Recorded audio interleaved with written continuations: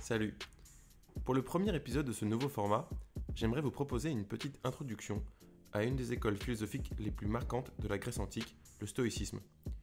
Je suis fasciné par les stoïciens, mais je ne suis pas un expert, alors j'ai fait appel à Ada Bronowski, spécialiste du stoïcisme, justement, ça tombe bien. Pour rappel, c'est une vidéo de niveau 1, donc normalement accessible à tous. Il y a une bibliographie dans la description, et si vous voyez apparaître un chiffre entre parenthèses comme ça, quand je parle, c'est l'équivalent d'une note de bas de page, et elle se trouve aussi dans la description. Voici le plan de cette vidéo. D'abord, une petite présentation pour se mettre dans le bain. Ensuite, on verra le rôle singulier que joue la raison pour les stoïciens, ce qui nous permettra ensuite d'aborder les enjeux éthiques de cette philosophie, la question de la connaissance et l'interdépendance de ces deux dimensions, et pour finir, on présentera la dimension pratique de cette philosophie et le sens qu'elle peut avoir aujourd'hui. Alors le stoïcisme est une école ancienne de pensée philosophique fondée au IIIe siècle avant Jésus-Christ par Zénon de Citium. Son élève, Chrysippe, eut également un rôle essentiel dans le façonnement de la doctrine. Les premiers stoïciens étaient bien sûr influencés par les philosophies précédentes, et l'on peut dire que Zénon fonde son école en réaction critique au platonisme. Par exemple, les platoniciens pensent selon un dualisme ontologique. Le monde sensible, accessible à nos sens, n'existe pas en tant que tel. Parce qu'il est en perpétuel devenir, qu'il ne cesse de se transformer, il n'a pas de réelle identité.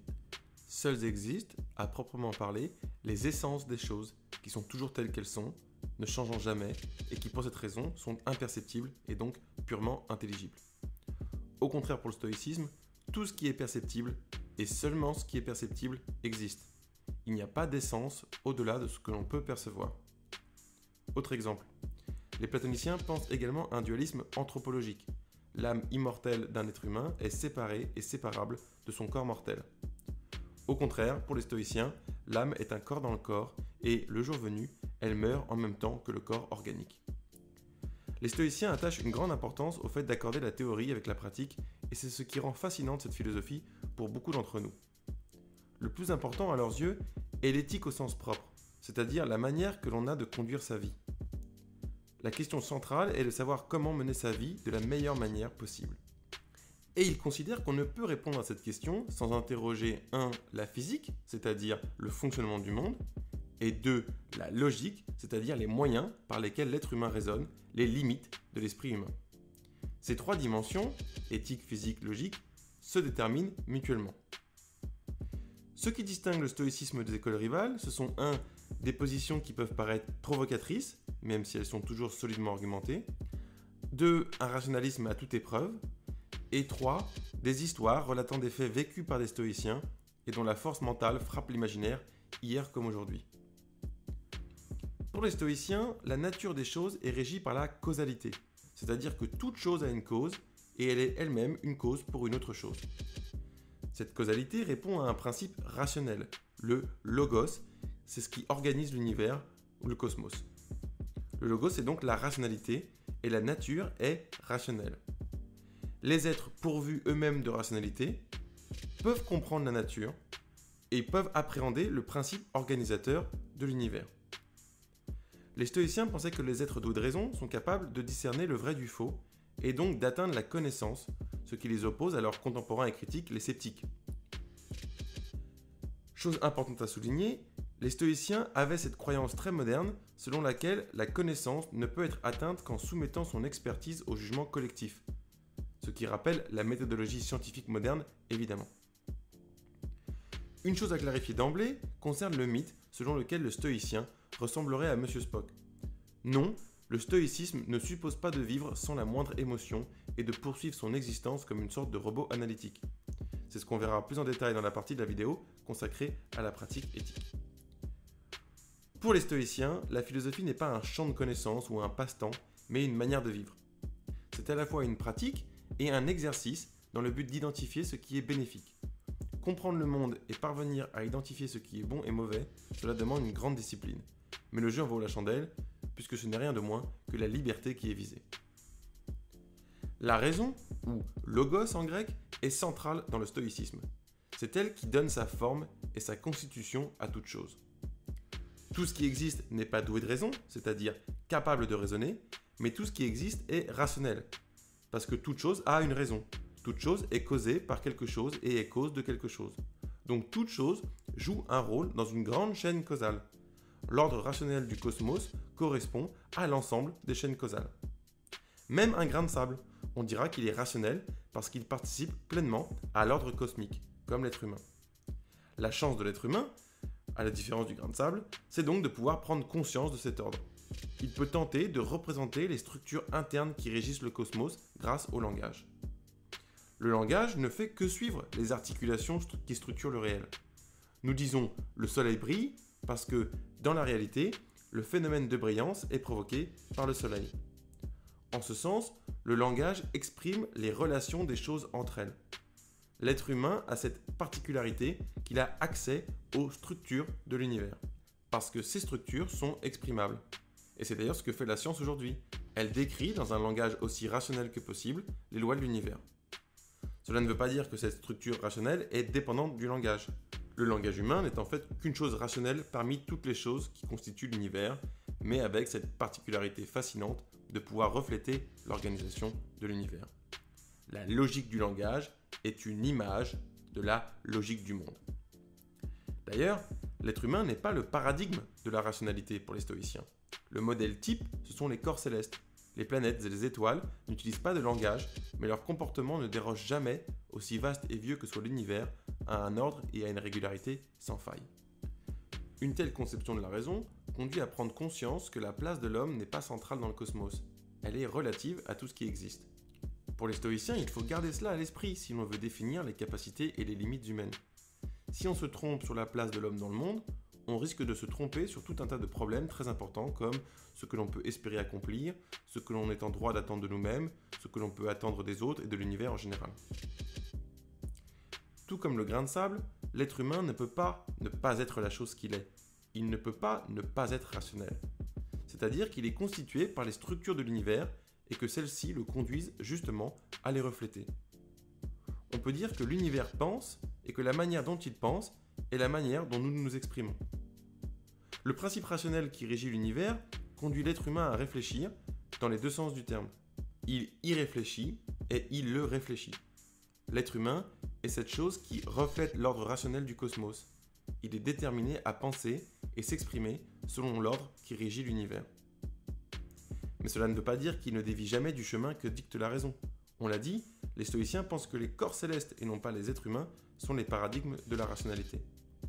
Contrairement aux astres qui ne déraillent jamais de leur parcours prédéterminé, l'être humain fait des erreurs, plutôt régulièrement que rarement d'ailleurs. Mais parce qu'il ne peut pas échapper à sa condition rationnelle, il ne peut pas ne pas se rendre compte de sa déviation du droit chemin. Et cela nous permet d'affirmer 1 qu'il peut progresser, 2 qu'il doit progresser, et 3 qu'il ne peut pas pour autant viser la rationalité des astres. Pour les stoïciens, le but de la vie humaine est de vivre en conformité avec la nature. Comment y parvenir? Leur réponse, c'est ce qu'on pourrait appeler une théorie du développement naturel de la raison humaine. Ils décrivent un processus. Voilà le point de départ. Nous naissons avec l'envie d'aller vers ce qui va nous permettre de préserver notre état, et avec l'envie de fuir ce qui nous semble nuisible. On grandit, on accumule des expériences, et on progresse dans notre manière de distinguer ce vers quoi il faut se diriger et ce qu'il faut fuir. En grandissant, on se rapporte à nos parents, aux autres êtres humains, et on reconnaît en eux des états similaires aux nôtres. On comprend que nous cherchons tous à préserver la même chose, l'état rationnel. On comprend alors que c'est la raison qui organise le monde, et donc qu'elle est ce qui nous est le plus cher. On fait tout pour la préserver. Vivre en conformité avec la nature, c'est développer la place de la raison dans son existence. La question n'est donc pas comment parvenir à vivre selon la nature, mais plutôt comment ne pas y parvenir. C'est-à-dire, que fait-on qui nous fait dévier du chemin naturel? Il faut identifier la raison de nos erreurs. Alors 1. On étudie le monde pour voir la raison à l'œuvre dans la réalité on identifie en toute chose le travail structurant de la raison, on essaie de comprendre la raison aussi précisément que possible, et deux, on s'entraîne à agir et penser de la manière la plus conforme à ce que l'on sait de la raison. Puisque du point de vue de la raison, ma vie a autant d'importance que celle d'un autre, ce développement de la raison dans l'existence de l'individu est censé mener à un cosmopolitisme vertueux. On devient tout aussi concerné par sa propre préservation que par celle de tout autre être humain au point où notre compréhension du monde peut nous amener à sacrifier notre propre vie pour la préservation d'un autre. si les conséquences de son maintien en vie sont de plus grande valeur. Et ces conséquences sont calculables puisque tout est déterminé par la causalité. On peut donc dire que notre compréhension du monde doit déterminer notre comportement. C'est une exigence magnifique, se dit en passant. Combien de décisions sont prises au niveau individuel ou collectif, notamment par des gouvernements, à rebours de ce que l'on sait du fonctionnement du monde? On a dit que chez les stoïciens, l'univers était tissé de chaînes causales. Chaque action, chaque événement est le résultat d'un nombre incalculable de causes qui se sont succédées les unes aux autres. Pour être plus précis, il faudrait dire que chaque événement est le résultat d'un croisement de plusieurs chaînes causales. C'est dans la reconnaissance de cette complexité que la liberté de l'être humain va pouvoir s'exprimer. Notre marge de manœuvre réside dans le fait de gérer la tension entre le déterminisme et la conscience de ce déterminisme. Plus on est capable de comprendre les connexions causales qui déterminent une situation particulière, plus on est libre. Mais attention, cette liberté n'est pas celle de pouvoir changer la situation, au contraire, il s'agit de s'y plier. Ça peut sembler contre-intuitif, mais c'est une position qu'on trouve aussi chez Spinoza ou dans le bouddhisme. La reconnaissance des causes produit une expérience de libération. Cela veut dire que la liberté se trouve dans notre compréhension de ce qui lie notre représentation du réel à la complexité du réel lui-même. Pour le dire plus simplement, si nous comprenons pourquoi nous voyons les choses de la manière dont nous les voyons, nous nous libérons un de la manière dont nous voyons les choses, donc de notre propre regard, et deux, des choses elles-mêmes, ou disons, de la partie de la chose qui dépend de notre regard, sa capacité à nous affecter, à donner du sens à notre expérience, etc. Ainsi, les stoïciens n'enseignent pas la suppression des émotions, mais plutôt la transformation de notre rapport à elles, afin de ne pas agir sur nos émotions, mais sur la part neutre et objective de nos représentations.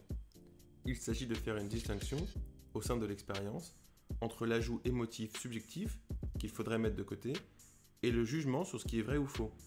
C'est ce dernier qui doit déterminer notre décision. On ne peut espérer éviter totalement les émotions, mais on peut éviter de se laisser duper par ce qu'elles nous font croire. L'esprit réflexif peut se détacher des émotions brutes et décider si elles sont appropriées, et donc si c'est une bonne idée de les cultiver ou non. Les stoïciens distinguaient le propathos, la réaction instinctive, de l'opathos, les sentiments issus d'un jugement réfléchi. Et le but est d'atteindre une forme de détachement lucide. Les stoïciens font une distinction fondamentale entre les choses qui sont en notre pouvoir et celles qui ne le sont pas. La première catégorie comprend essentiellement nos pensées et nos attitudes, alors que la seconde comprend à peu près tout le reste. L'idée, c'est que l'appel d'esprit émerge lorsqu'on ne se concentre que sur ce que nous pouvons contrôler plutôt que de gaspiller son énergie émotionnelle à se focaliser sur ce que l'on ne peut pas contrôler. Savoir distinguer ce qui dépend de nous de ce qui échappe à notre contrôle est le principal levier de libération. Cela implique la pratique d'une indifférence vis-à-vis de tout ce qui ne dépend pas de soi. Indifférence au succès ou à l'échec de ce que l'on entreprend, indifférence à la perte de ce que l'on possède, puisque cela peut arriver à tout moment et qu'on ne contrôle pas les chaînes causales qui régissent le monde. L'exemple le plus célèbre, c'est Épictète, le philosophe esclave impassible face aux tortures que lui infligeait son maître, lui faisant simplement remarquer que s'il continue ainsi, il finira par lui casser la jambe, ce qui en effet arriva. Cet exemple incarne l'injonction stoïcienne en ce sens précis. Épictète n'attache aucun ajout émotif ou affectif à l'énoncé pur et simple de la réalité des faits. La situation est comme réduite à la validation du jugement selon lequel, à force de torture, une jambe, ça se casse. Il faut éviter un malentendu courant qui tend à croire que l'indifférence stoïcienne serait une attitude antisociale ou égocentrique. Il s'agit bien sûr d'accepter et de comprendre le monde pour pouvoir en jouir sans en dépendre. Mais la vie vertueuse, qui est la vie heureuse et libre, suppose d'avoir compris, par le travail de la raison, que l'homme n'est dans le monde qu'une partie ni plus ni moins importante que tout autre participant à un tout. Les lois rationnelles ne sont pas là pour l'homme. Il a la possibilité d'en profiter pour atteindre cette vie heureuse, mais cela ne le conduit pas à des conclusions de mégalo. Au contraire, l'usage de la raison pousse vers plus d'humilité. Ainsi, les stoïciens envisagent tout naturellement une égalité des facultés entre hommes et femmes, au nom d'une égalité totale d'accès à la raison, la seule valeur qui compte. La femme a donc, contrairement aux stéréotypes généralement misogynes sur l'Antiquité, les mêmes possibilités d'atteindre la vertu qu'à l'homme.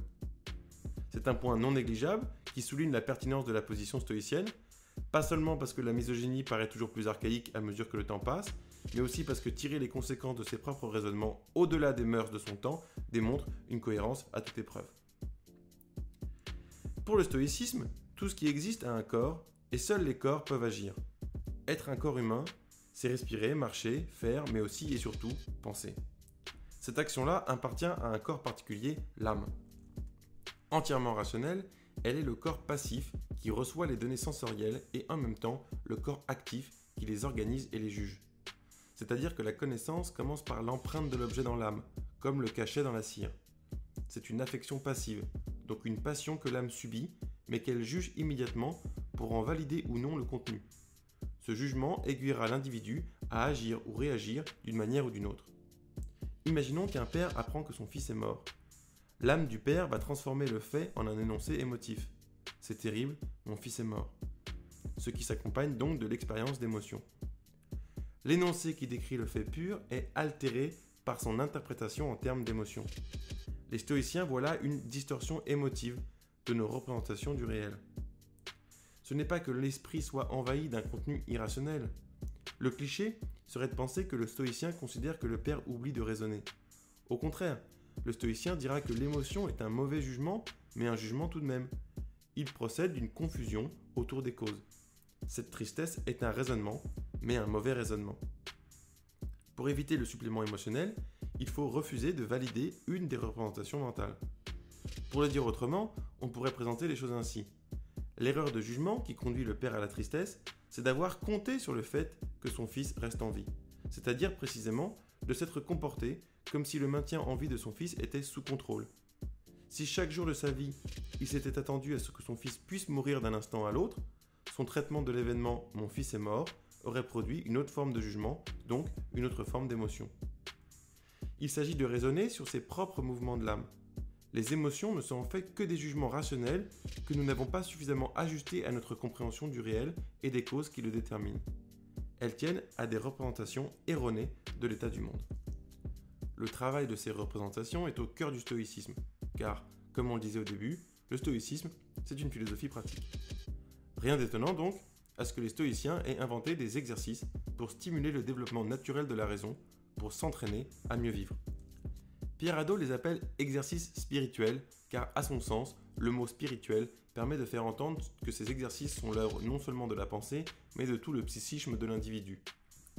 Pour les stoïciens, rappelons-le, le malheur des hommes tient au fait qu'on cherche à atteindre des choses qu'on n'arrivera pas à obtenir, qu'on cherche à garder des choses qu'on risque de perdre, ou qu'on cherche à éviter des maux inévitables. La philosophie doit nous transformer pour qu'on ne cherche à atteindre que ce que l'on peut effectivement obtenir et qu'on ne cherche à éviter que ce que l'on peut effectivement éviter. Le reste donc, ce qui ne dépend pas de nous, correspond à l'enchaînement nécessaire des causes et des effets. Ça nous échappe et ça doit donc nous être indifférent. Il faut prendre le mot au pied de la lettre. Nous ne devons pas y introduire de différence. Nous devons l'accepter tout entier, comme si c'était le destin. Changer son regard à ce point est difficile. C'est précisément là que doivent intervenir les exercices spirituels. Car il ne suffit pas de le savoir théoriquement, il faut pratiquer le savoir pour l'intégrer. Il faut se le représenter pour se transformer, pour adopter la philosophie stoïcienne comme une manière spontanée d'expérimenter l'existence. S'imprégner des croyances que l'on sait rationnelles pour modifier la manière que l'on a d'éprouver sa vie, voilà une réelle ambition philosophique. Malheureusement, il ne nous reste pas beaucoup de traces autour de ces exercices. On sait qu'Épictète les classe selon les trois facultés de l'âme, la faculté de désir, la faculté d'action, la faculté de penser. Il conseille de faire les exercices avec discrétion et sans ostentation. Il existe également un petit traité de l'exercice de Musonius Rufus. Il recommande l'exercice physique, comme s'habituer aux intempéries, à la faim, à la soif, car cela rend l'âme plus forte. Il y a aussi des exercices propres à l'âme, qui consistent à s'imprégner des démonstrations et principes se rapportant à la distinction entre vrai et faux bien, vrai et faux mal, pour ne plus craindre ce que la plupart des hommes considèrent comme des maux, la pauvreté, la souffrance, la mort. Grâce à Philon d'Alexandrie, nous possédons deux listes d'exercices. Je pense faire une vidéo bientôt spécifiquement centrée sur la description de ces exercices. Mais je vous en présente juste un pour piquer votre curiosité, une méditation appelée Premeditatio Malorum. Elle consiste à se représenter en avance les difficultés de la vie, la pauvreté, la souffrance, la mort. On les imagine aussi précisément que possible, on les visualise et on se les représente comme des choses inévitables pour se préparer à leur survenue. Un intérêt non philosophique pour les potentialités thérapeutiques du stoïcisme est né à la fin du XXe siècle et au début du XXIe siècle. Il semble y avoir des affinités entre le rôle que les stoïciens accordent au jugement et les principes des thérapies cognitivo-comportementales. Ce n'est pas dans ce format que j'aborde explicitement les enjeux politiques des concepts ou des théories philosophiques. Généralement, c'est plutôt pour le format blanc. Pour autant, je veux profiter de cette vidéo pour préciser quelque chose, puisque ce regain d'intérêt, qui déborde désormais les TCC pour envahir les vidéos de coaching sur YouTube, n'est pas anodin. Il semble s'inscrire dans la dynamique plus générale qui célèbre la résilience. Or, une telle célébration a une portée politique évidente, puisqu'elle fait reposer la responsabilité du bonheur sur l'individu plutôt que sur la capacité de l'État à produire les conditions de possibilité de ce bonheur. On comprend alors comment et pourquoi une philosophie comme le stoïcisme se trouve coincée entre deux feux dans le monde contemporain. La philosophie invite souvent à se changer soi-même plutôt qu'à changer le monde, et cela peut sembler incompatible avec l'idée d'une lutte contre l'injustice. Ainsi, certains enthousiasmes autour des stoïciens donnent l'impression de le réduire à un moyen pour devenir individuellement plus fort. On oublie peut-être que le stoïcisme doit déboucher sur une plus grande humilité et sur la conscience que la vie d'autrui vaut autant que la mienne. Atteindre la vie heureuse stoïcienne devrait conduire, une fois donc débarrassé de notre égocentrisme naïf, à une plus grande préoccupation pour l'autre. Les stoïciens insistaient sur le fait de cultiver ses vertus morales pour devenir quelqu'un de bien. Et les quatre vertus cardinales étaient la sagesse, courage, la justice et la tempérance. Être vraiment fort pour un stoïcien, c'est se libérer de soi-même, et c'est cette libération qui devrait nous permettre de lutter pour la justice.